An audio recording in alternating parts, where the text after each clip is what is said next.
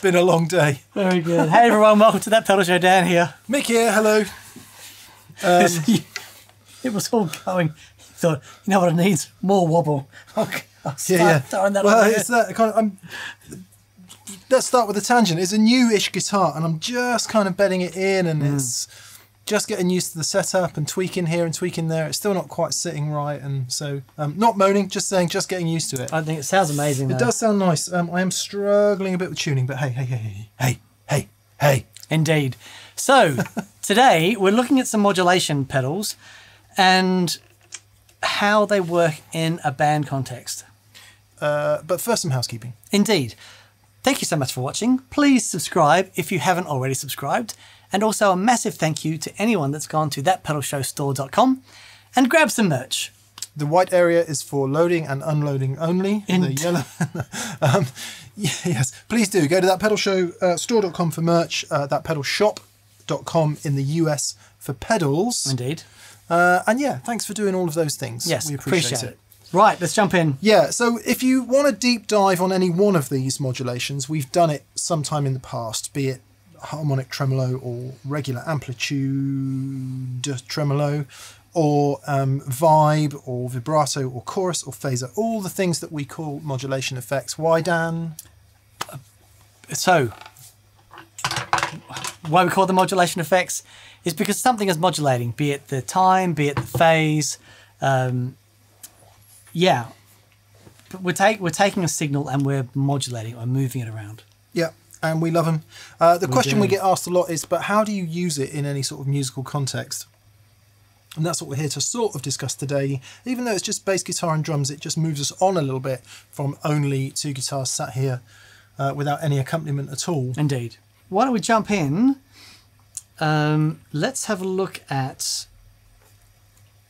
Let's let's grab the oldest pedal on the board, Yeah. which is the original first issue of the MXR Phase 90. Yeah, so this isn't every modulation pedal that's ever existed. Dan's chosen three uh, as his faves, and I've chosen two, and we're going to have a, a little whip through those. So what have you got? You've got phaser, I've got a phaser, flanger, flanger, and, vibrato. which also equals chorus, as we'll find Indeed, out. indeed. And I've gone for um, harmonic tremolo, tremolo, and uh, vibe. So two and a half.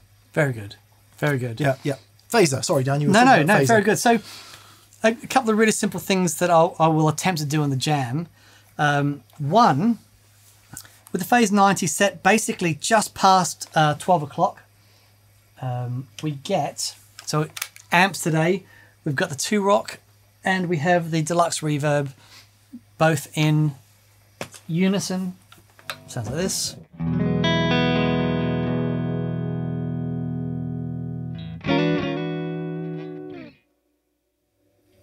Throw the phaser in front of that.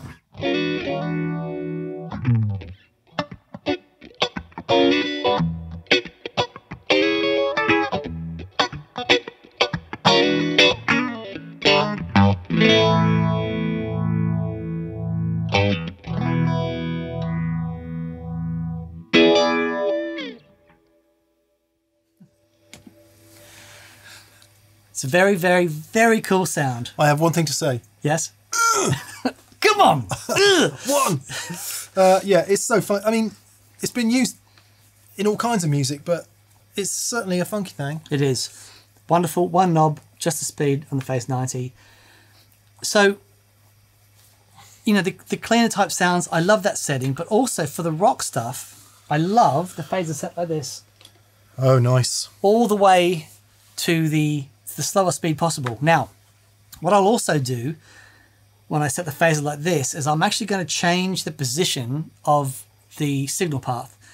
So I'm going to take the not at the moment the phaser is after the overdrives. Yep. When I start rocking out and I turn the phaser all the way down that way, I'm going to put the phaser in front of the overdrives. Before the overdrives, right? okay. So I'll give you a listen to how that sounds. So this is, um, I'll stick the D&M drive on, and then we'll hear the phaser after it, and then I'm going to switch the phaser before. Want okay? both sides of the D&M drive down? Uh, yes, please.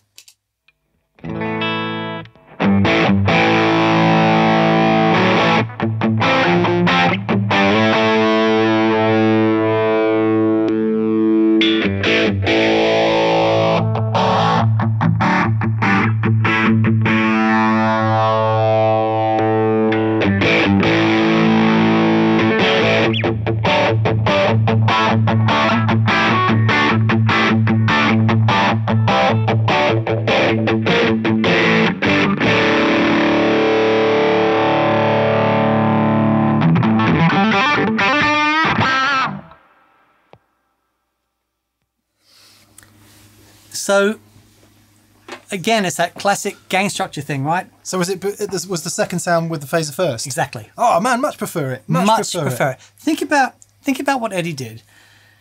That's The- Edward Van Halen, by So- the way. exactly. Amps cranked. Uh, phaser going into the cranked amps. It's not a full honk. It's a it's a It's a because I said hello to him once. That'll do. That's not a honk. It Okay. wasn't. It wasn't a me. All right, You don't have his a- number. All right. yeah. He said hello back, so I don't think that qualifies as a Counts as a conversation. honk in my book. No, no, no, no. I've got T-shirts written up of "I've met this person" with less information than that.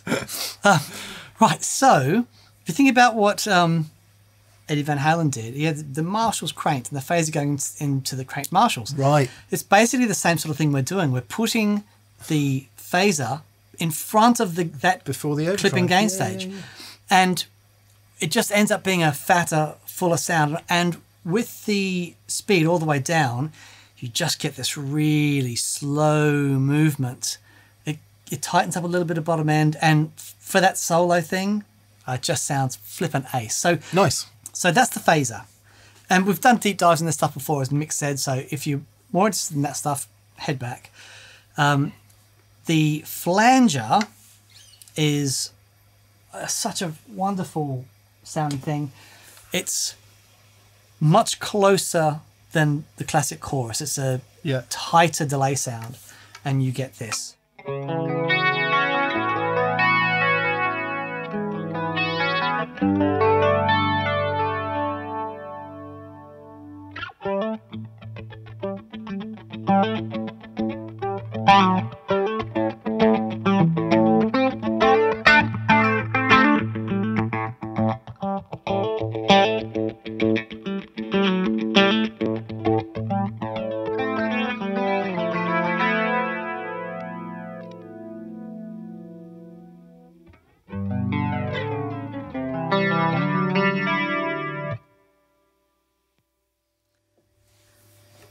Sound of ages. It is. It's wonderful. It is the sound of ages. and I generally, if I'm after a that 80s sort of chorus effect, I'll pref- I prefer to use a flanger Yeah. than a standard chorus. For me, um, there's something about even with it, like the more extreme settings of it, it just for me it just sits so well. Yep. You've Um, always loved it. haven't I've you? always I've always loved it. And It's likewise, definitely- you like that before drive as well. I do. Yeah. Yeah, I do. Is So- that how we'll hear it today? Yeah, so I mean again,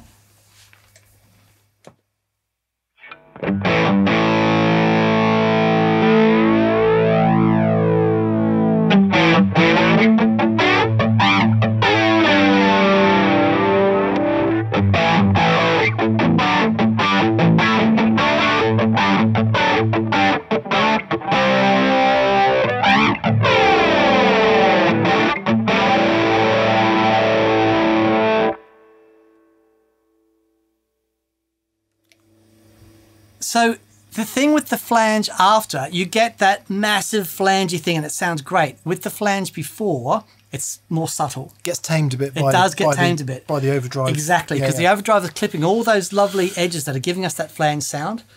So, you know, generally, for, if I wanted the big flange sound, it'll go after. Yep. You know, um, yeah. So that's the flange, and then finally for me, we have the vibrato.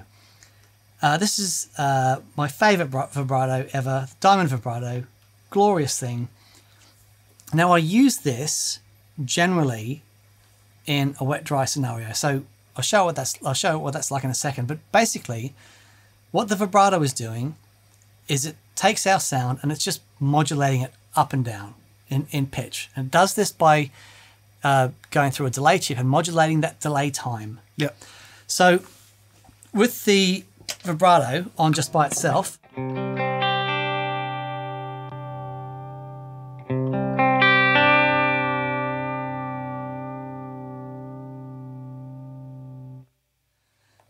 so that's the vibrato going into both amps, Yeah. right?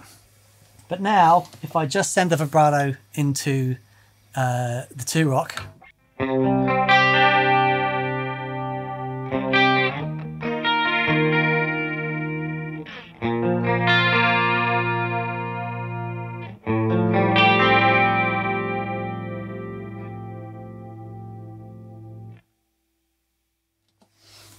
and that is basically how a chorus works. That is chorus. That's real chorus. So Exactly. Vibrato mixed with the dry sound. See what I really love about the diamond is that the wave form isn't like the wave of the modulation isn't strictly linear. You know, Symmetrical. It's oh, not all all. over the place. It's all over the place. Uh, well, it's not all over the place. It's a repeating pattern, but it's it's really really. It's cool. asymmetrical. Yeah. yeah, totally.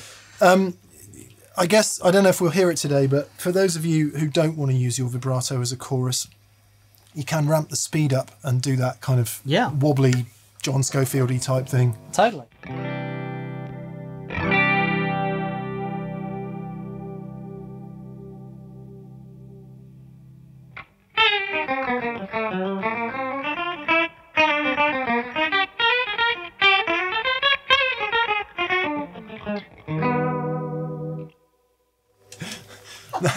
That's a, you know that's a really cheesy version of it, but that's how that sounded. Um, your mate who you had the guitar lesson with, uh, Mike Stern. Mike Stern. Did he use that? Is, was his I- thing vibrato or was his chorus?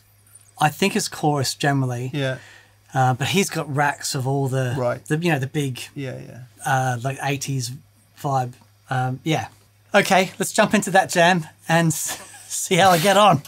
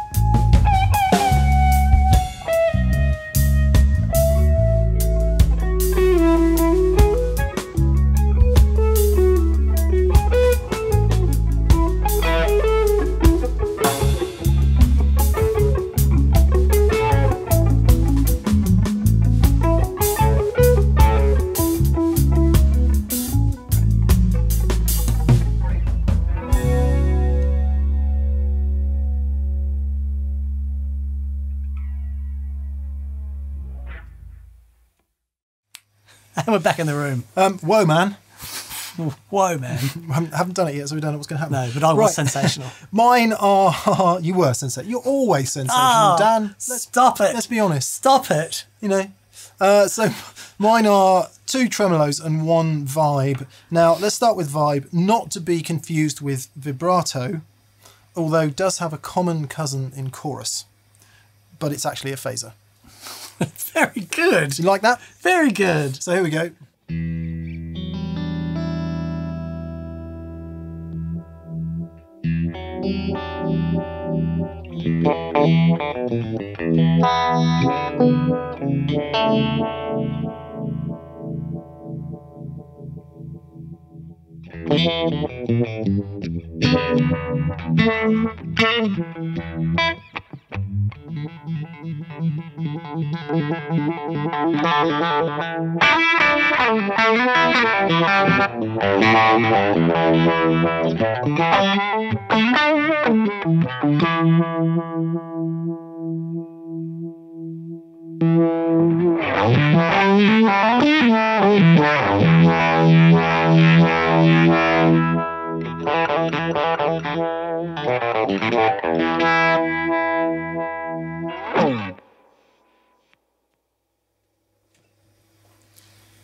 That's extraordinary. It's not only Jimi Hendrix. No. It sounds really good on clean parts as well. I'll try and do some of that in the jam. So vibe we know about. Um, the thing I was manipulating off the screen is um, an expression pedal to control the speed.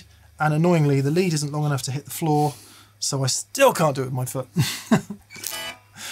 um, normally, you'd see them together. And then tremolo. So I'm using the Harmonious Monk. This is mine and Dan's tremolo pedal, and it does two things. One is one is uh, harmonic tremolo, which is a little bit similar to vibe as it goes um, in texture. It's not it's not achieved the same way. Yeah. But it's um it sometimes it can it can sound soupy in that way.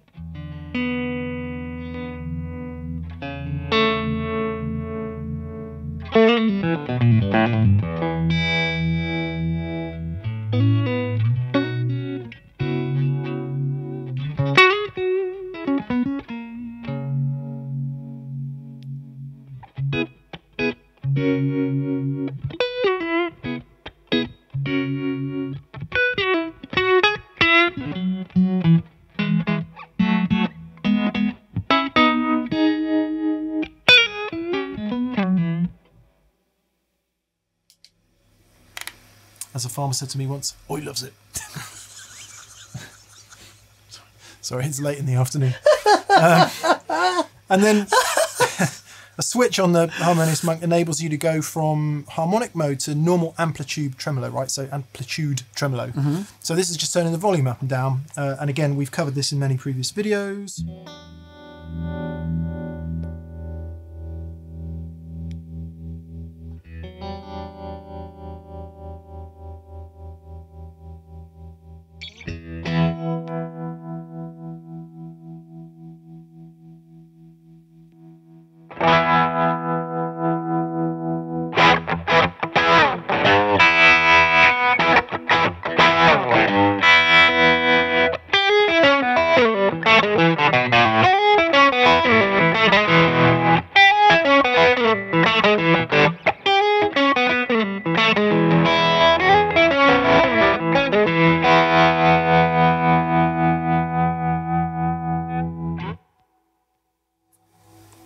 Trem there, that vibe is totally gone. That's amazing. Oh, hang on, was the vibe still on? No, no. Without the vibe of the music, Oh, I see. Sorry, the vibe of the playing. I thought I thought I'd managed to leave no, the vibe no, on. no. Um, but but that it's such a big part of that. Yeah, well, it, Sound. you could uh, apart from natural reverbs and and um, echoes and stuff, it was the first guitar effect really, Right. And uh, it existed in a bunch of early stuff. Um, and it, you, if you listen to some of those old '50s recordings, you'll hear tremolo in m- many more places than you would think. The old DeArmond tremolo. Yeah, Yeah, the but- oil can tremolo. and Bo Diddley, you hear it a lot there. So that's one way to use it. Slower, obviously, um, for more atmospherics.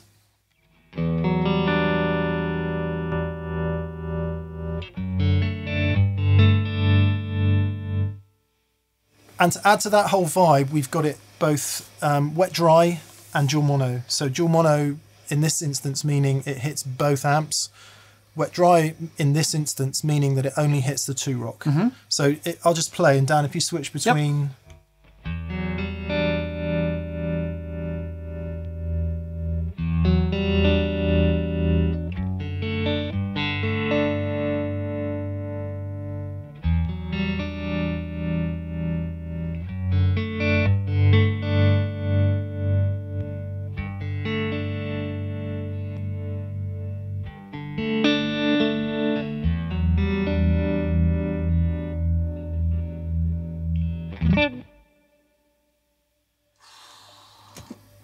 takes on powerful. a whole different sense of movement when Mm. you go wet dry. And again, we'll try and do that in the jams um, to give you an idea of how it sits with bass and drums. You ready to rock? Uh, I am. I'm a bit tired actually, Dan. If I'm honest. Come, come on, sunshine. It's been a long it's day. time to rock. I know. In which case, I'll wake up. Let's rock.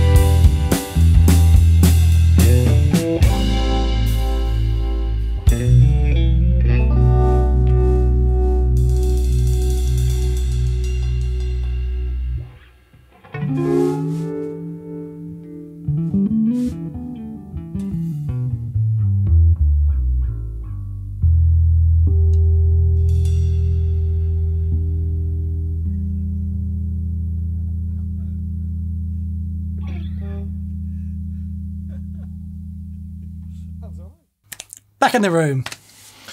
That was amazing. I'm hot. No, you you are on fire, is what that is.